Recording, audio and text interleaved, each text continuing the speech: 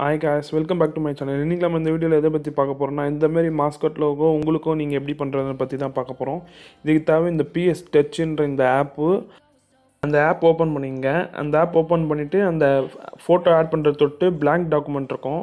அதில் போய்ட்டு ரெண்டுமே தௌசண்ட் தௌசண்ட் வச்சு ஓகே கொடுத்துருங்க.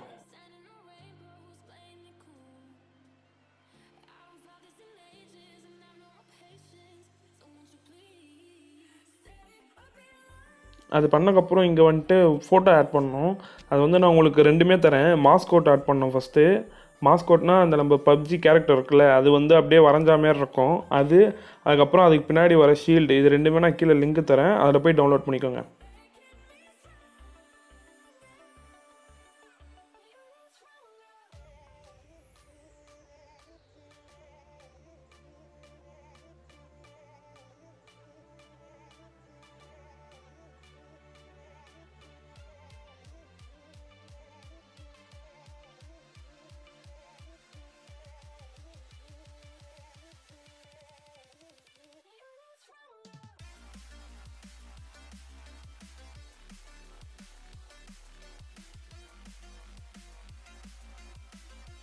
ஷீல்டை ஆட் பண்ணக்கப்புறம் ஷீல்டை வந்து ஃபோட்டோவுக்கு பின்னாடி வச்சுக்கோங்க.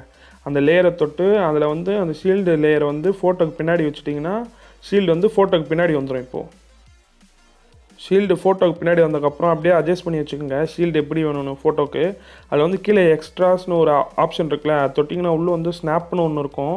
அது தொட்டு நீங்கள் ஸ்னாப் தொட்டிங்கன்னா உங்களுக்கு வந்து ஃப்ரீயாக மூவ் ஆகும் அதுக்கு முன்னாடி வரைக்கும் கொஞ்சம் லெஃப்ட் இல்லை கொஞ்சம் ரைட் அப்படி மூவ் ஆகும் இப்போ வந்து உங்களுக்கு எங்கே தோணுதோ அந்த இடத்துல எடுத்து வச்சுக்கலாம் இப்போ அந்த ஷீல்டை ஷீல்டு கரெக்டாக பண்ணக்கப்புறம் இப்போ அந்த லோகோவை தொட்டு லோகோ அந்த ஷீல்டுக்கு ஏற்ற மாதிரி கரெக்டாக உங்களுக்கு எப்படி வேணுமோ அதுக்கேற்ற மாதிரி வச்சுக்கோங்க லோகோவையும்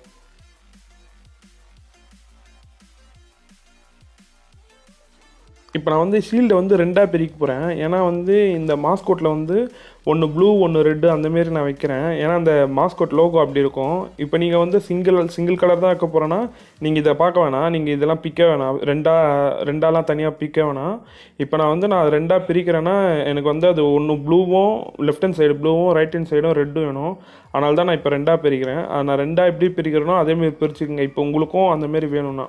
இப்போ வந்து பிரிக்கும் போது நான் சொன்ன மாரி இந்த செலெக்ஷன் டூலை டச் பண்ணிட்டு மேலே ஷோ பாயிண்டர்லாம் டச் பண்ணக்கப்புறமும் என்ன பண்ணுன்னா நீங்கள் வெறுமா டச் பண்ணாலாம் அது வந்து பிரியாது.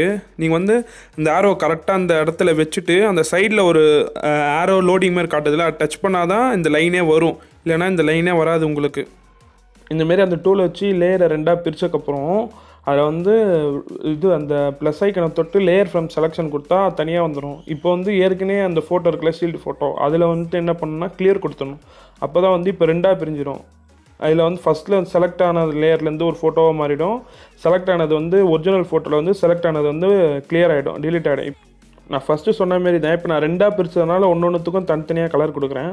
இப்போ ஃபஸ்ட்டு ஷீல்டு அந்த லேயரை தொட்டு அதில் எஃபெக்ட்ஸ் மேலே எஃபெக்ட்ஸ் இருக்கும். அதில் எஃபெக்ட்ஸை தொட்டு அதில் டின்ட்டுன்னு ஒரு ஆப்ஷன் இருக்கும்.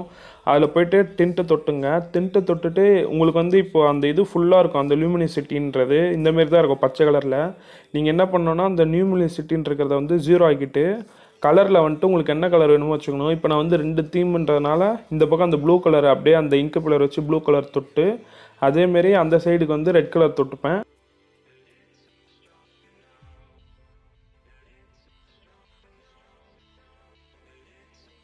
இது பண்ணக்கப்புறம் நெக்ஸ்ட் என்ன பண்ணணும்னா பிக்சல் லேப்னு வந்து ஒரு ஆப் வந்து நீங்கள் ப்ளே ஸ்டோரில் போனாலே இருக்கும்.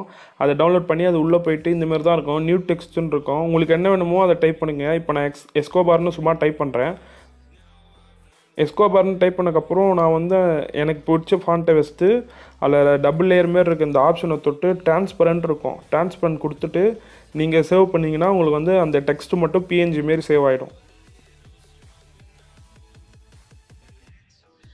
பிஎன்ஜி மாரி நீங்கள் அந்த ஃபோட்டோ சேவ் பண்ணக்கப்புறம் மறுபடியும் பிஎஸ்சிசி ஓப்பன் பண்ணிக்கோங்க. இப்போ வந்து நம்ம இதில் வந்து டெக்ஸ்ட் ஆட் பண்ண போகிறோம் இதில் நம்ம ஃபஸ்ட்டு எப்படி அந்த மாஸ்கோட்டு ஷீல்டு அதெல்லாம் ஆட் பண்ணுமோ அதேமாரியே போயிட்டு பிக்சல் ஆப்னு தனியாக ஃபோல்டர்லேயே சேவ் ஆகி வந்துடும் அதில் போனீங்கன்னா நீங்கள் டைப் பண்ணது சேவ் ஆகிருக்கும் அது வந்து நீங்கள் எப்படி ஆட் பண்ணீங்களோ அதேமாரி இதுலேயும் ஆட் பண்ணிக்கோங்க. ஆட் பண்ணிட்டு அதேமாரி அந்த லேயரில் அந்த டெக்ஸ்ட் லேயரை தொட்டு ட்ரான்ஸ்ஃபார்ம் கொடுத்து உங்களுக்கு எப்படி வேணுமோ டெக்ஸ்ட்டு அதுக்கேற்ற மாதிரி வச்சுக்கோங்க.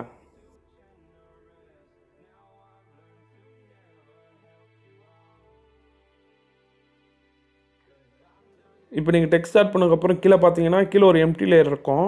அதை அப்படியே வச்சுட்டு இப்போ மேலே இருக்க எல்லாத்தையும் வந்து அந்த ஒயிட் கலரில் உள்ள டாட் மாதிரி இருக்குல்ல தொட்டிங்கன்னா அது எடுத்து விட்ரும் அது எல்லாத்தையும் எடுத்து விட்டு என்ன பண்ணுங்கள் அந்த எம்டி லேயர் இருக்குல்ல அந்த ஃபோட்டோவை தொட்டு அதில் வந்து மேலே செட்டிங்கில் போயிட்டு ஃபில் கொடுத்துருங்க.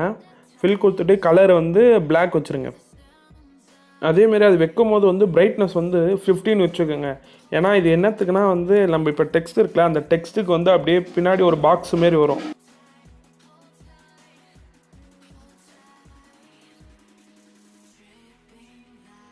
இப்போ வந்து நெக்ஸ்ட் என்ன பண்ணால் இப்போ அந்த லேயரை தொட்டு அதில் நம்ம டெக்ஸ்ட் இருக்குல்ல அந்த டெக்ஸ்டாண்டை தொட்டு ப்ளஸில் தொட்டு எம்டி லேயர் ஒன்று கொடுத்துக்கோங்க. எம்டி லேயர் க்ரியேட் பண்ணி வச்சுக்கோங்க. க்ரியேட் பண்ணி அந்த எம்டி லேயரை வந்து டெக்ஸ்ட்டுக்கு பின்னாடி வச்சுருங்க. இப்போ நம்ம நேம் இருக்க லேயரை தொட்டு அதில் வந்து செலக்ட் பிக்சல் கொடுத்துருங்க ஃபஸ்ட்டு செட்டிங்கை தொட்டு. அதுக்கப்புறம் மறுபடியும் அந்த ஃபஸ்ட்டு செட்டிங்கை தொட்டு என்ன பண்ணோன்னா ட்ரான்ஸ்ஃபார்ம்னு ஒரு ஆப்ஷன் இருக்கும். அதில் போயிட்டு எக்ஸ்பேண்டில் போயிட்டு ஒரு செவன் வச்சுக்கோங்க. செவன் இல்லை எயிட் அந்த மாதிரி வச்சுட்டு டிக் கொடுத்துருங்க. டிக் கொடுத்துட்டு மறுபடியும் இப்போ எம்டி லேயர் தொட்டு மறுபடியும் மேலே செட்டிங்கில் போயிட்டு ஃபில் அண்ட் ஸ்ட்ரோக் கொடுத்துருங்க. கொடுத்துட்டு டிக் கொடுத்துருங்க. ஆனால் அது வந்து ஃபில்ல இருக்கணும் டைப் வந்து ஸ்ட்ரோக்கில் இருக்க போகுது. அது ஃபில்லு மாற்றிக்கோங்க இப்போ பேக்ரவுண்ட் ஃபோட்டோ வந்து கீழே இருக்க அந்த பிளாக் கலர் ஃபோட்டோ எடுத்து விட்டு பார்த்தாலே தெரியும். பின்னாடி பிளாக் கலரில் வந்துருக்கிறது இப்போ நம்ம வந்து நெக்ஸ்ட் என்ன பண்ணோம்னா இந்த நம்ம பேரில் அந்த சைடில் கார்னர்லாம் பார்த்தா ஒரு மாதிரி அப்படியே அந்த ஷார்ப்பே இல்லாமல் இருக்குல்ல. அதுக்கு என்ன பண்ணலான்னா அங்கே கீழே இருக்க அந்த ஆப்ஷனை தொட்டு அதில் வந்து மூணாவது ஒரு ஆப்ஷன் இருக்கும். அதை செலக்ட் பண்ணிக்கோங்க. அதை செலக்ட் பண்ணிட்டு மேலே இருக்க ஃபஸ்ட்டு செட்டிங்கை தொட்டு ஷோ பாயிண்டர்னு இருக்கும். அதில் ஷோ பாயிண்டர் தொட்டு இப்போ வந்து நம்ம அப்படியே வரைய வேண்டியதான் அந்த கார்னரில் ஒரு கோன் மாரி வரைய வேண்டியதான் நீங்கள் வரையும் போது கரெக்டாக வரையணும். எப்படின்னா அந்த ஒயிட் கலரில் இருக்குல்ல அந்த ஒயிட் கலர் பக்கத்துலேருந்து வரையணும். நீங்கள் வெறும் பிளாக்லேருந்து மொனையில் மட்டும் ஸ்டார்ட் பண்ணுறாதீங்க அந்த ஒயிட் இருக்குல்ல ஒயிட்டுக்கு ஏற்ற கார்னர்லேருந்து வரையணும். அந்தமாரி வரைஞ்சிட்டு ஃபஸ்ட்டு செட்டிங்கை தொட்டு ஃபில் கொடுத்துருங்க. இதேமாரி நாலு கார்னர்லேயும் வரைஞ்சிருங்க. நான் சொன்ன மாதிரி அந்த டூலு எல்லாம் செலக்ட் பண்ணிட்டு ஷோ பாயிண்டர்லாம் கொடுத்தக்கப்புறம் நீங்கள் வெறுமா அந்த ஆரோ இருக்குல்ல அந்த ஆரோ வச்சு சும்மா பண்ணிங்கன்னா எதுவுமே வராது. நீங்கள் அது வரையும் போது என்ன பண்ணணும்னா அந்த லெஃப்ட் ஹேண்ட் சைடில் லோடிங் மாரி காட்டும். அதை வந்து நீங்கள் ஹோல்ட் பண்ணணும். ஹோல்ட் பண்ணுறதுனா அழுத்திக்கினே இருக்கணும். லாங் ப்ரெஸ் பண்ணணும். லாங் ப்ரெஸ் பண்ணிகிட்டே இருந்தால் நீங்கள் எவ்வளோ லாங் ப்ரெஸ் பண்ணிவிட்டு அப்படியே இந்த ஆரோ ரைட் ஹேண்ட் சைடில் இந்த ஆரோ இருக்குல்ல அந்த ஆரோ வச்சு வரையணும். ஃபஸ்ட்டு வரையறதுக்கு முன்னாடி எந்த இடத்துல ஸ்டார்ட் பண்ண போகிறீங்களோ அந்த இடத்துல ஒரு டாட்டு மாரி வைங்க. டாட் மாரினா நீங்கள் அந்த இடத்த டச் பண்ணிங்கன்னா தான் உங்களுக்கு அந்த சர்க்கிள் மாரி வரும். ஃபஸ்ட்டு சர்க்கிள் வருதுல்ல அது அப்படி தான் வரும் நீங்கள் அந்தமாரி கரெக்டாக பண்ணிக்கோங்க.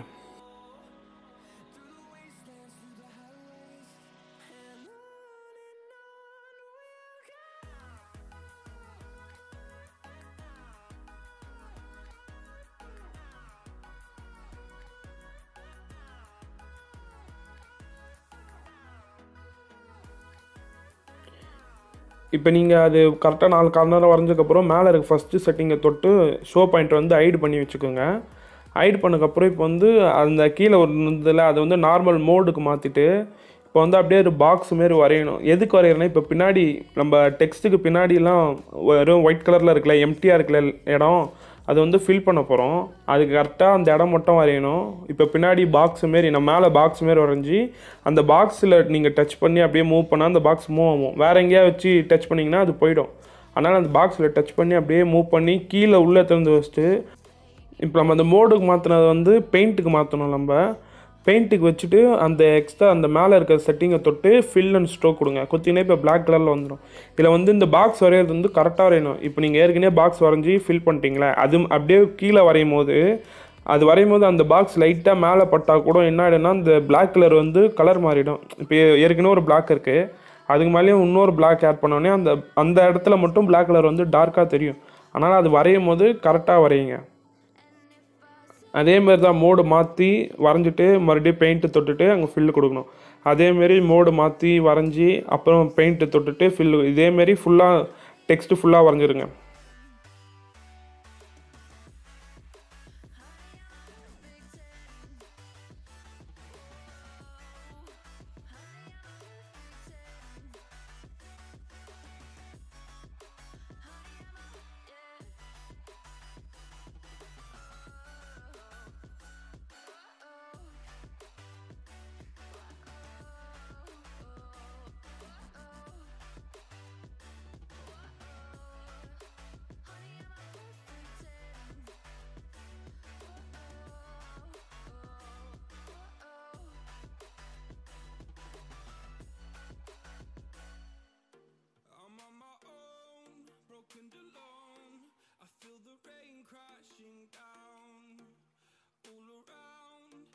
Empty town.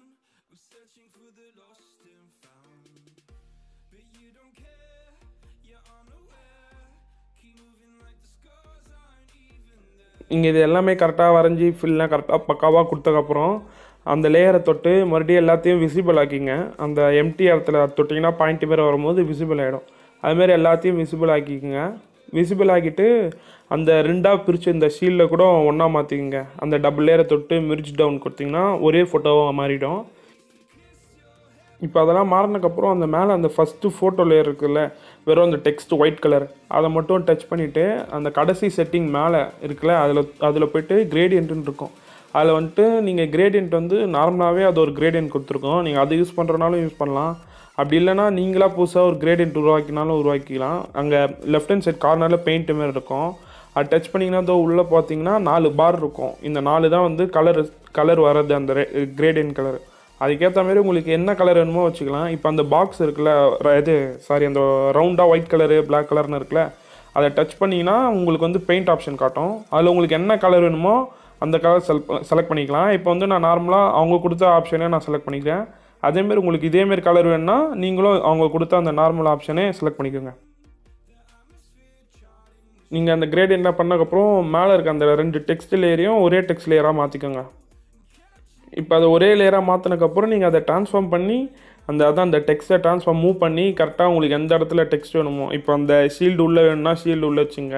இல்லை ஷீல்டுக்கு மேலே வரணும்னா மேலே வச்சுங்க. அதுமாரி வச்சுங்க. இப்போ நீங்கள் வைக்கும் போது என்ன ஆகும்னா இப்போ வந்து அந்த எம் ஃபோர் இருக்குல்ல அந்த எம் ஃபோர் மட்டும் பின்னாடி இருக்க மாதிரி இருக்குது அது முன்னாடி எடுத்துகிட்டு வர என்ன பண்ணலான்னா நம்ம கட் பண்ணி கரெக்டாக லேயர் மட்டும் தனியாக கட் பண்ணுவோம்ல. அந்த மாரி வந்து கீழே அந்த ஆப்ஷனை செலக்ட் பண்ணிவிட்டு கரெக்டாக அந்த எம் ஃபோர் மட்டும் அந்த டெக்ஸ்ட்டு அந்த ஆர் மட்டும் மேலே இருக்குல்ல எம் ஃபோர் வந்து ஆருக்கு மேலே வர மாதிரி பண்ணலாம். கரெக்டாக அதை மட்டும் ஆர் மட்டும் செலக்ட் பண்ணி நம்ம பண்ணுற மாரி அதை வந்து அந்த டபுள் லேயர் தொட்டு ப்ளஸ்ஸு தொட்டு லேயர் ஃப்ரம் செலெக்ஷன் கொடுத்துட்டு அந்த டெக்ஸ்ட்டில் போயிட்டு கிளியர் கொடுத்துருங்க. கிளியர் கொடுத்துட்டு இப்போ நம்ம செலக்ட் பண்ணது வந்து இப்போ நம்ம செலக்ட் பண்ணி தனியாக கட் பண்ணி எடுத்தோம்ல அந்த ஆர் மட்டும். அதை மட்டும் என்ன பண்ணோன்னா நம்ம டெக்ஸ்ட் இருக்குல்ல அந்த டெக்ஸ்ட் லேயருக்கு கீழே வச்சுருங்க. இப்போ டெக்ஸ்ட் லேயருக்கு கீழே வச்சுட்டோன்னா என்ன ஆகும்னா இப்போ வந்து நமக்கு எம் ஃபோர் வந்து முன்னாடி வர மாதிரி இருக்கும். சாரி டெக்ஸ்ட் லேயரில் அந்த ஃபோட்டோக்கு கீழே. இப்போ ஃபோட்டோ கீழே வச்சிட்டோன்னா இப்போ வந்து எம் ஃபோர் முன்னாடி வந்த மாதிரி ஆகிடும்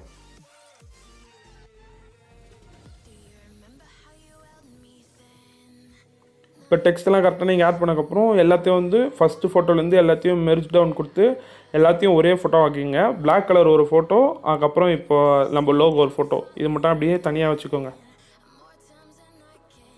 இப்போ வந்து பேக்ரவுண்டு இருக்குது அந்த ஃபோட்டோ வந்து பிளாக் கலர் வந்து நம்ம பிரைட்னஸ் ஃபிஃப்டின்னு வச்சதுனால கம்மியாக இருக்கும். அதனால் மறுபடியும் அந்த ஃபோட்டோ தொட்டு ஃபில் அண்ட் ஸ்ட்ரோக்கில் போயிட்டு அதில் ஃபில்லு தொட்டுட்டு கலரில் கலர் டச் பண்ணிங்கன்னா பிரைட்னஸ் ஃபிஃப்டின் இருக்கும். அந்த ஃபிஃப்டீனை வந்து ஜீரோ ஆக்கிட்டு மறுபடியும் ஃபில்லு வச்சுட்டு ஓகே கொடுத்தீங்கன்னா பின்னாடி இந்தமாரி பிளாக் கலரில் மாறிடும். நார்மலாக பிளாக் கலரில் பின்னாடி அந்த பிளாக் கலரில் மாற்றினக்கப்புறம் இப்போ லோகோலாம் உங்களுக்கு வேண்டிய மாரி அட்ஜஸ்ட் பண்ணிக்கிங்க. பண்ணிவிட்டு மறுபடியும் அந்த லேயரை தொட்டு ப்ளஸில் போயிட்டு டூப்ளிகேட் லேயர் கொடுங்க. ஆனால் இப்போ இருக்க ஃபோட்டோவே வந்து அப்படியே பின்னாடி பேக்ரவுண்டில் மாற்றணும் இப்போ அந்த பின்னாடி இருக்க ஃபோட்டோவை செலக்ட் பண்ணிக்கங்க. செலக்ட் பண்ணிட்டு கரெக்டாக ஜூம் பண்ணி கரெக்டாக எது வேணுமோ அது மட்டும். இப்போ வந்து நான் வந்து டெக்ஸ்ட் இருக்குல்ல டெக்ஸ்ட்டு மட்டும்தான் வெளில போகிற மாதிரி வைப்பேன். அதுதான் பேக்ரவுண்ட் ஃபோட்டோ அது வந்து டெக்ஸ்ட்டு மட்டும் வெளில போகிற மாதிரி வச்சுக்கோங்க. இந்தமாரி நான் வைக்கிற மாதிரி கரெக்டாக வச்சு டிக்கு கொடுத்துருங்க. கொடுத்ததுக்கப்புறம் இப்போ இந்த லோகோ மெயின் லோகோ இருக்குல்ல சின்ன ஃபோட்டோ மெயின் லோகோ மேலே வச்சுருக்கோம்ல அந்த லோகோ வந்து மூவ் பண்ணிக்கோங்க. மறுபடியும் நல்லா சென்டராக அந்த ஃபோட்டோ பேக்ரவுண்ட் ஃபோட்டோக்கு ஏற்ற மாரி சென்டராக வச்சுக்கோங்க. இல்லை சின்னதாக ஆக்கி சின்னதாக சென்டராக வைக்கிறனால வச்சுக்கலாம்.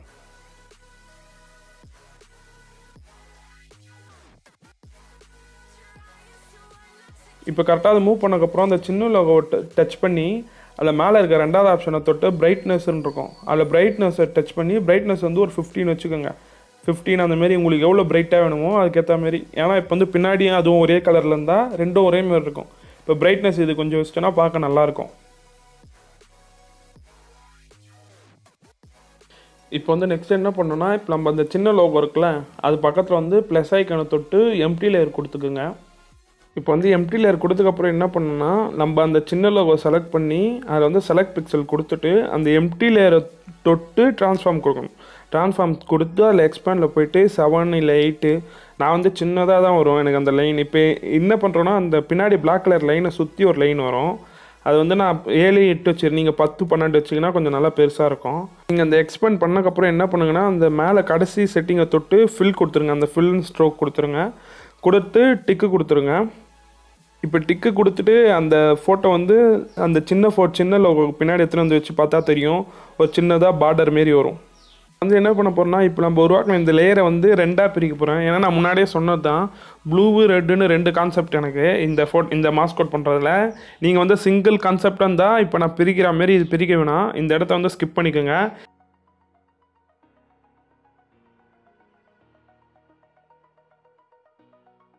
இப்போ நான் வந்து அதை ரெண்டாக பிரித்ததுக்கப்புறம் என்ன பண்ண போகிறேன்னா அது எல்லாத்தையும் வந்து இது பண்ணிப்பேன். எல்லாத்தையும் வந்து விசிபிள் ஆக்கிக்குங்க. விசிபிளாக ஆக்கிட்டு அந்த நம்ம அந்த ரெண்டாக பிரித்ததை வந்து டீசெலக்ட் பண்ணிவிடுங்க டீசெலக்ட் பண்ணிவிட்டு இப்போ நான் அந்த ஃபஸ்ட்டு ஃபோட்டோ ஃபஸ்ட்டு அந்த பாதியை மட்டும் ஃபஸ்ட்டு செட்டிங்கை தொட்டு செலக்ட் பிக்சல் கொடுத்துட்டு மறுபடியும் எஃபெக்ட்ஸில் போனீங்கன்னா எஃபெக்ட்ஸில் அந்த கடைசி செட்டிங் பண்ணால் ஃபில் அண்ட் ஸ்ட்ரோக் கொடுத்துருங்க. கொடுத்துட்டு கலர் வந்து அந்த இங்க் பில்லரை வச்சு இப்போ எனக்கு ரெட்டு ப்ளூன்றனால அதனால் வந்து நான் லெஃப்ட் சைடு ப்ளூக்கும் ரைட்டு சைடுக்கும் ரெட்டுக்கும் மாற்றிப்பேன் நீங்கள் ஒன்றா வச்சுருந்தா ஒன்றுமே பிரச்சனை இல்லை. இப்போ நீங்கள் ஒன்றா இருக்குதுன்னா மொத்தமாகவே செலக்ட் பிக்சலை தொட்டு நீங்கள் அந்த கடைசி ஃபில் அண்ட் ஸ்டோக் கொடுத்ததுக்கப்புறம் அந்த பக்கத்தில் கலருன்னு இருக்கும். அந்த கலரை டச் பண்ணி உள்ளே பார்த்தீங்கன்னா இங்கு பில்லர் இருக்கும். அந்த இங்கு பில்லரை டச் பண்ணி உங்களுக்கு என்ன கலர் வேணுமோ அந்த இடத்துல அந்த இங்கு பில்லர் எத்தனை போய் வச்சிங்கன்னா அந்த கலர் வந்துடும் அப்படி இல்லைன்னா மேனுவலாக மேலே கலர் காட்டும். அதில் எந்த கலர் வேணுமோ அந்த கலர் வச்சுக்கோங்க. இப்போ அந்தமாரி பார்டர் கலர் ஆட் பண்ணக்கப்புறம் என்ன பண்ணணும்னா இப்போ நான் வந்து க்ளோ கொடுக்க போகிறேன் இப்போ வந்து நான் ரெண்டும் தனித்தனி க்ளோ கொடுக்குறனால தனித்தனியாக வச்சுருக்கேன்.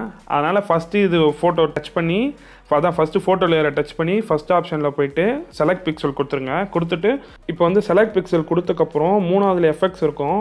அதில் எஃபெக்ட்ஸில் போயிட்டு க்ளோ கொடுத்துங்க. இப்போ நான் ரெட்டு ப்ளூன்றதுனால ரெட்டு ப்ளூ கொடுக்குறேன். இப்போ நீங்கள் ஒரே கலர் தான் யூஸ் பண்ணணும். நீங்கள் ஒரே கலர் இது வரைக்கும் யூஸ் பண்ணியிருந்தா பார்டருக்கு என்ன கலர் கொடுத்தீங்களோ அதே கலர் கொடுத்து பிளர்ரு ஃபுல்லாக வச்சுட்டு ப்ளர் ஃபுல்லாக வச்சுட்டு ஓகே கொடுத்துருங்க. அதான் டிக்கு கொடுத்துட்டிங்கன்னா இந்தமாரி க்ளோ ஆகிடும் அதுக்கப்புறம் வந்து இப்போ நீங்கள் அந்த ரெண்டு நான் ரெண்டு பார்டர் வச்சதுனால ரெண்டுத்தையும் ஒன்றாக்கிட்டு இப்போ எல்லாத்தையும் விசிபிள் கொடுத்துக்கிறேன். இப்போ எல்லாத்துலேயும் அந்த ஒயிட் கலர் அந்த இதுவை டச் பண்ணி இப்போ வந்து எல்லாத்தையும் ஒரே ஃபோட்டோவாக்கிக்கிறேன் மெரிஜ் டவுன் கொடுத்து. இப்போ எல்லாத்தையும் ஒன்றாக்கினக்கப்புறம் பின்னாடி இருக்க அந்த ஃபோட்டோ வந்து ஒபிசிட்டி வந்து ஹண்ட்ரட் வச்சுருங்க. ஹண்ட்ரட் வச்சுட்டு அதுக்கப்புறம் அந்த பின்னாடி இருக்க ஃபோட்டோவே செலக்ட் பண்ணி எஃபெக்ட்ஸில் போயிட்டு லைட்டிங்னு ஒன்று இருக்கும். அந்த லைட்டிங்கில் போயிட்டு இப்போ நான் கீழே இந்த இன்டென்சிட்டியும் அந்த ஸ்பெக்டாலரிட்டியும் எவ்வளோ வைக்கிறனோ அதேமாரி வச்சுக்கோங்க.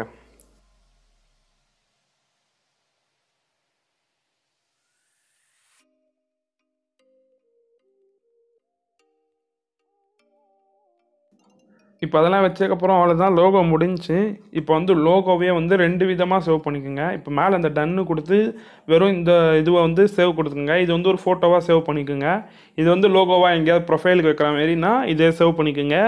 இன்னொன்று மறுபடியும் உள்ளே போயிட்டு இப்போ அந்த சின்ன லேயர் இருக்குல்ல இந்த சின்ன ஃபோட்டோ அந்த லோகோ மட்டும் அதை மட்டும் விசிபிள் வச்சுட்டு இது எல்லாத்தையும் எடுத்து விட்ருங்க அந்த ஒயிட் கலர் டாட்டை எடுத்து விட்டு டன்னு கொடுக்கும்போது சேவ் காப்பின்னு கொடுங்க. சேவ் காப்பின்னு கொடுத்தா இது தனியாக ஒரு ஃபோட்டோ மாரி சேவ் ஆகிடும் இப்போ தனியாக ஒரு ஃபோட்டோ மாரி சேவ் ஆனதுக்கப்புறம் மறுபடியும் இப்போ நம்ம அந்த ஃபோட்டோவை சேவ் பண்ணுவோம்ல அதை டச் பண்ணி அதில் வந்து கீழே வந்து ஒரு ஆப்ஷன் காட்டும் பிஎன்ஜின்னு அந்த பிஎன்ஜி டச் பண்ணி ஓகே கொடுத்தீங்கன்னா இப்போ அந்த ஃபோட்டோ மட்டும் லோகோ மட்டும் தனியாக சேவ் ஆகிடும் அதை வந்து நீங்கள் எங்கேயா ஸ்டீமுக்கு யூஸ் பண்ணுற மாதிரி இருந்தால் யூஸ் பண்ணிக்கலாம். அவ்வளோதான் இந்த வீடியோ முடிஞ்சு. இந்த வீடியோ உங்களுக்கு பிடிச்சிருந்தா லைக் பண்ணி ஷேர் பண்ணி சப்ஸ்கிரைப் பண்ணுங்கள் புதுசாக ஏதாவது கற்றுன்னு தோணுச்சுன்னா உங்கள் ஃப்ரெண்ட்ஸுக்கு ஷேர் பண்ணுங்கள்